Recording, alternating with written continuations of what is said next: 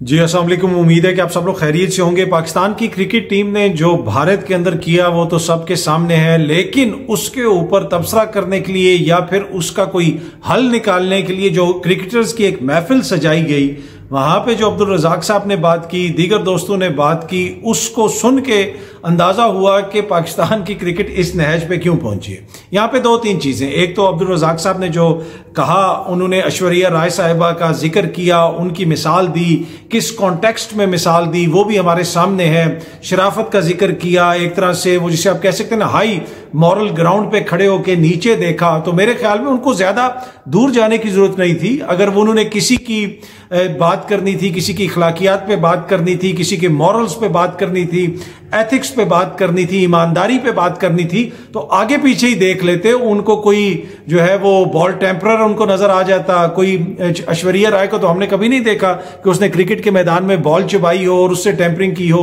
अगर उन्होंने कोई मिसाल ही देनी थी तो वो कोई ऐसी मिसाल दे देते कि वो लोग जो कौम के जो है वो क्रिकेट मैचेस जो है फिक्स करते रहे, उनके जो अपने सीनियर्स हैं, माजी में किस किस का नाम आता रहा तो वो मैच फिक्सिंग का ज़िक्र कर देते, उन प्लेयर्स का ज़िक्र कर देते कि जो अपनी टीम के लिए नहीं, अपने मुल्क के लिए नहीं, अपने कैप्टन के लिए खेलते हैं, उनका ज़िक्र कर देते कि जो अपने कैप्टन के खिलाफ हलफ लेते हैं जाके दूसरे कमरों में कि जनाब उसके खिलाफ हम सारे इकट्ठे हो जाएँगे तो वो किसी का भी ज़िक्र कर सकते थे। ये एकदम से खातून को टारगेट करना और ऐश्वर्या राय का ज़िक्र करना क्या वो मुनासिब था? इसके ऊपर बहुत सारा अब जिसे आप कह सकते हैं कि रद्द अमल भी आ रहा है। उसमें हमारे अपने जो क्रिकेटर्स हैं, वो भी ट्वीट्स वगैरह कर रहे हैं। मैं जरा आपको एक दो ट्वीट्स पढ़ के भी सुनाना चाहता हूँ। शोएब अख्तर साहब ने भी इसके ऊपर ट्वीट की है। मोहम्मद यूसुफ साहब ने भी इसके ऊपर ट्वीट किया है। मोहम्मद यूसुफ जो है सबक क्रिकेटर हैं, दुनिया क्रिकेट के अजीम प्लेयर हैं। उन्होंने लिखा है कि as a cricketer I feel sorry that Abdul Razzaq made comments about Indian actress in a media talk I hope he will be ashamed of what he said and apologise इसके साथ साथ शोएब अख्तर साहब ने भी ये किया कि मैं इसकी मजम्मत करता हूँ, जो उन्होंने इन अप्रोप्रिएट जोक किया है अब्दुल रजाक साहब ने, और उन्होंने डिसरिस्पेक्ट किया है खातून को। आगे से उन्होंने एक चीज़ जो लिखी, ये बड़ी इंपॉर्टेंट है, जो शोएब अख्तर साहब ने लिखी, वो लिखते हैं कि people seated beside him should have raised their voice right away rather than laughing and clapping उन्होंने कहा कि जो लोग उनके साथ बैठे हुए थे उनको उसी वक्त उसको पॉइंट आउट करना चाहिए था और उसके ऊपर बात करनी चाहिए थी कि वो तो उधर बैठ के हँसते रहे और तालियाँ बजाते रहे। पर एनी anyway, ये शो करता है कि देखिए हर किसी का जो काम होता है ना जि, जिसका जो काम होता है वो उसको वो आ, सूट करता है। अब जितने भी ये क्रिकेटर्स हैं, इनमें से कोई भी दानिश्वर नहीं है, कोई भी बहुत ज़्यादा जो है वो इस पोजीशन में नहीं है कि वो पाकिस्तान क्रिकेट के मामला को बेहतर कर सके। देखिए, हर किसी की अपनी नेचुरल सलाहियत होती है और उसके मुताबिक लोग काम करते हैं, उसके मुताबिक लोगों को यूटिलाइज किया जाता है। अब ये कहना कि ये जो सारे सामने बैठे हुए थे और जो मशवरे दे रहे थे, जब ये लोग खुद खेलते थे तो क्रिकेट टीम के अंदर क्या क्या होता था? अगर आप लोगों को और ये मैं बड़ी ज़िम्मेदारी से बता रहा हूँ। अगर आप लोगों को पता चल जाए कि इनकी कितनी गंदी किस्म की जो है उसमें सियासत होती है टीम के अंदर और ये एक दूसरे के हवाले से क्या कुछ करते हैं अगर अंदर की खबरें आपको पता चल जाए तो आप लोगों को इस खेल से ही नफरत हो जाए। ये इत, इस किस्म का माहौल बना होता है। ये आज की बात नहीं है। ये बड़े अरसे से इस किस्म का माहौल चल रहा है। माजी में आपने देखा कि वसीम और वकार जो है वो दो कैंप बन गए थे एक दूसरे के खिलाफ हो गए थे।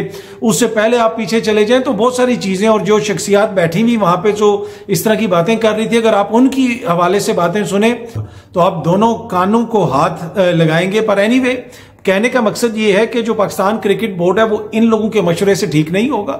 इनसे आप थोड़ा बहुत मशवरा ले सकते हैं लेकिन इस तरह की जो बॉडीज होती हैं वो प्रोफेशनल तरीके से चलाई जाती हैं। आज आप गूगल करें कि इंग्लैंड का जो क्रिकेट बोर्ड है, उसके कौन है? सीईओ कौन है? या ऑस्ट्रेलिया के सीईओ कौन है?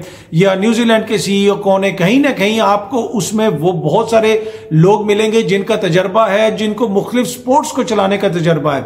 इंग्लैंड के जो सीईओ हैं क्रिकेट बोर्ड के, वो पहले फुटबॉल के जो लीग है, उससे भी वाबस्ता रहे, फिर वो इंग्लैंड क्रिकेट की तरफ़ आ गए इसी तरह दीगर लोगों के जो तजर्बात होते हैं जिनको बिज़नेस की नोआ होती है प्रोडक्ट्स किस तरह लॉन्च करने हैं अपनी किस तरीके से एडमिनिस्ट्रेटिवली कहाँ पे खेलना है, कहाँ पे नहीं खेलना, हमारा तो मसला ही बना रहता है। एशिया कप यहाँ पे हुआ, भारत नहीं आया। तो वर्ल्ड कप में मैंने तो पहले ही कहा था, वैसे मैं आपको जाती तौर पे बता दूँ कि अगर अभी आप पाकिस्तान की क्रिकेट टीम मेरे सामने खड़ी करेंगे तो उनमें से चार पाँच बंदों के अलावा हो सकता है मैं किसी को पहचानूं भी ना। मैं ज़्यादा इंटरेस्ट मेरा नहीं है क्रिकेट में। लेकिन पाकिस्तान की कौम का इंटरेस्ट है, लोग देखते हैं, ये लोगों के हीरो हैं। तो अगर इंडिया आपके मुल्क में आके नहीं खेल रहा तो आपको क्या ऐसी है कि आपने वहाँ पर ज़रूर जाना है और हर हालत में जाना है।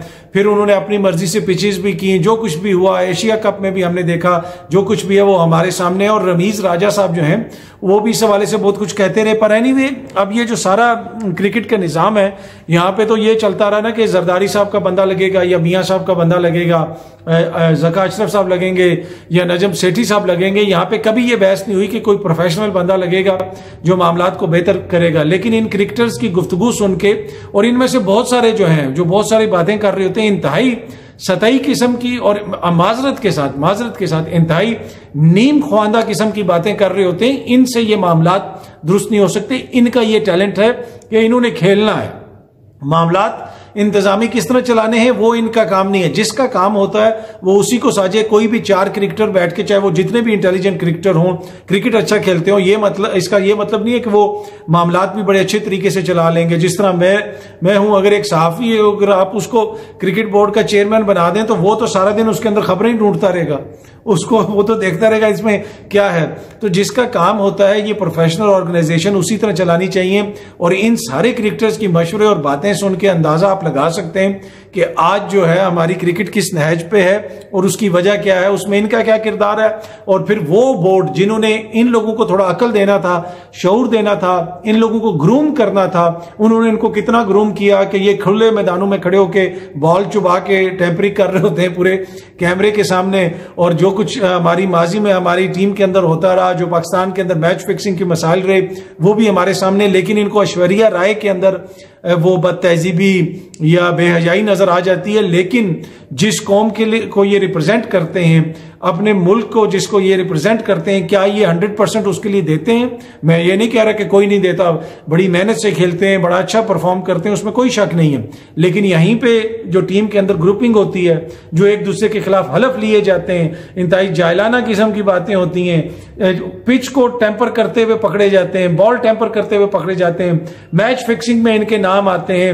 हमारे प्लेयर्स को इंग्लैंड में भी जब जनाब मैच फिक्सिंग में पकड़े गए तो उनमें से किसी का नाम ले लेते अब्दुल रजाक साहब, कि ऐसा बेशरम नहीं बनना कि जिस कौम ने आपको इतनी इज़्ज़त दी है, उसी कौम को आप इस तरह लेट डाउन करें। उसकी, उस कौम को रिप्रेजेंट करते हुए पूरी दुनिया के सामने, पाकिस्तान का आप इस तरह नाम रोशन करें कि इंग्लैंड में आप मैच फिक्स करें।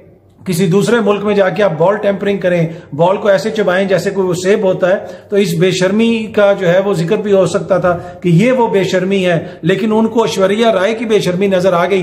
लेकिन ये वाली बेशर्मी नज़र नहीं है लेकिन एनी anyway, वो कहते हैं ना कि वो अपनी अपनी आँख देखने वाली होती है तो उसको जो उसमें नज़र आता है ये जो कॉमेंट्स उन्होंने दिए इंतहाई नामुनासिब कॉमेंट्स थे। अगेन मिसोजनिस्टिक कॉमेंट थे इसकी कतन कोई गुंजाइश नहीं है। आप बेहतर तरीके से भी मिसाल दे सकते थे लेकिन ये आ, हमारे लिए भी ये केस स्टडी है।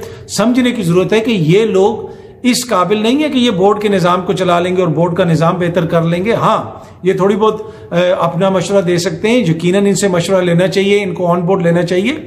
लेकिन इनकी जो महदूद मेंटल कैपेसिटी है जो महदूद इंटेलेक्चुअल कैपेसिटी है इस चीज़ के अंदर। क्रिकेट क्रिकेट में हो सकता है कि बहुत बड़ा जहन हो, क्रिकेट को बड़ा अच्छा समझते हो, क्रिकेट में बड़े इंटेलिजेंट हो, लेकिन ये वो चीज़ नहीं समझ सकते। उसी तरह अगर मुझे कहा जाए कि जब आप क्रिकेट के मामला को देखें या क्रिकेट खेल के दिखाएँ तो मेरी तो उसमें मेंटल कैपेसिटी फ़िज़िकल एबिलिटी इतनी महदूद है कि मैं तो बिल्कुल उसमें जाहिल लगूँगा। अगर मैं उसके ऊपर बात करूँ और उसको बेहतर करने की कोशिश करूँ तो इस वजह से जो उन्होंने उधर मशवरे दिए, उनको देख के, उनको सुन के हमें अंदाज़ा हो जाना चाहिए। एनी पाकिस्तान की क्रिकेट में इस तरह की बातों से, इस तरह के मशवरों से कितनी बेहतरी आएगी, वो तो मुझे नहीं पता। लेकिन इस कमेंट से अब ये आलमी सतह पे जो पाकिस्तान की नेक नामी होगी, उसी तरह जिस तरह हम बॉल टेम्परिंग करके करते रहे हैं, जिस तरह मैच फिक्सिंग करके करते रहे हैं, जिस तरह हम अपने टीम के अंदर ग्रुप बंदी करके करते रहे अपने कप्तान के खिलाफ लड़कों को कमरे में बुला के हलफ लेके करते रहे हैं तो उसी तरह जनाब वो नेक नामी ज़रूर होगी पाकिस्तान की। इन कॉमेंट्स के बाद क्रिकेट में कितनी बेहतरी आएगी, वो हम देखेंगे। अब देखते हैं कि आगे निज़ाम किस तरह चलता है? बाकी बाबर आज़म, दीगर लोगों के ऊपर तनकीद हो रही है। आप सब लोग तनकीद करते भी हैं। कभी प्लेयर्स अच्छा खेलते हैं, कभी अच्छा नहीं खेलते। इतना हार्श नहीं होना चाहिए। इस पार्ट ऑफ़ गेम कभी आप हारते हैं, कभी जीतते हैं, लड़कों को सपोर्ट करना चाहिए। कभी हो सकता है कि वो बेहतर परफॉर्म कर सकें, कभी वो हो सकता है बेहतर परफॉर्म ना करें। और एक चीज़ समझने की ज़रूरत है कि ये जो आपके जहनों में डाला हुआ ना कि जी, हमारी टीम बड़ी टैलेंटेड है और ये है वो है। रियलिटी ये है कि हमारा टैलेंट भी लिमिटेड है, हमारा जो है इंटेलिजेंस भी लिमिटेड है और हमारा जो सेंस है ओवरऑल वो भी लिमिटेड है और हमारा जो बोर्ड है, उसकी कैपेबिलिटी और एबिलिटी जो है, वो भी महदूद है और उन सब चीज़ों का जो आपको एक मुरक्ब नज़र आता है या उन सब चीज़ों का एक कलेक्टिव जो तस्वीर नज़र आती है, वो फिर मैदान के अंदर आपको नज़र आती है जिस तरह हमारी टीम परफॉर्म करती है। बहुत जल्दी आप सब दोस्तों से दोबारा मुलाकात होगी। Thank you so much